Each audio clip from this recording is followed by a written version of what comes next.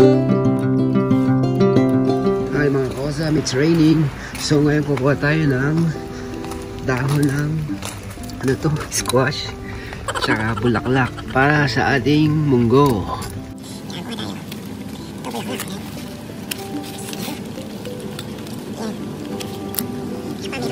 Mga kausam, kukuha din tayo ng kamatis. Kasi munggo yung lulutuin natin, kailangan ng kamatis. So, kunin natin yung mga hinog na. Yan.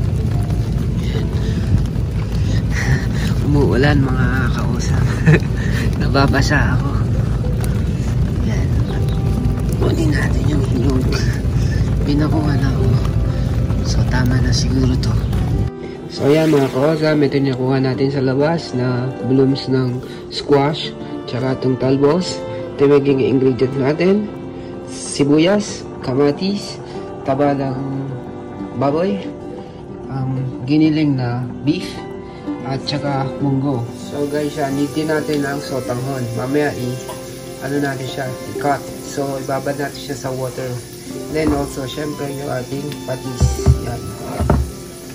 So ayan, no, sa separate pot, nagpapakulo na tayo nung munggo kasi matagal yan. So ayan guys, unahin natin yung ating taba ng pork. Gagawin natin siyang crunchy. Siyempre, yung goal natin dito sa pork skin o yung pot is maging crunchy or parang gawin natin chicharon. Then set aside natin siya.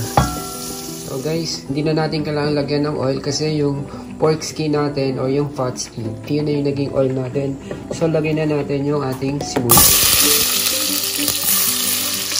Then tomato. Tapos yung ground beef. Pwede rin iba gamitin nyo. Pero kasi yun yung available. Then lagyan natin ang patis. Then sunod na natin itong pinakulo natin balatong or munggo. So, sa pagpag-prepare ng munggo, pwede kayong ahead of time, ibabad nyo yung munggo para mas madali siyang pakuluan. Then, sunod na natin yung ating sotanghon. Isang kulo lang yan, guys. Pagkakulo, guys, lagyan na natin yung ating dahon ng kalabasa. Unahin natin siya kasi mas medyo matigas siya. Panghuli yung ating dahon. Ah, sorry. yung bulaklak. So, ganyan lang siya guys.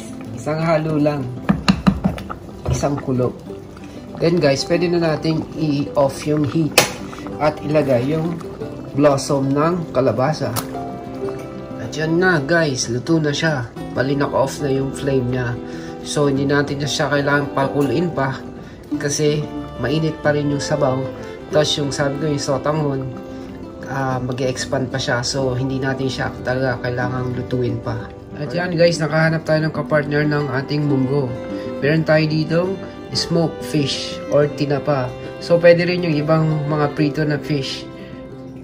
So, there you have it guys, ang ating ginisang munggo na may kapartner na tinapa or smoked fish. So, enjoy!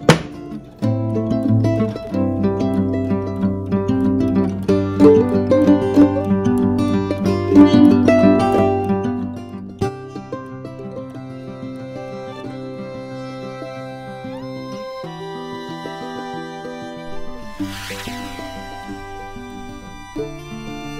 you.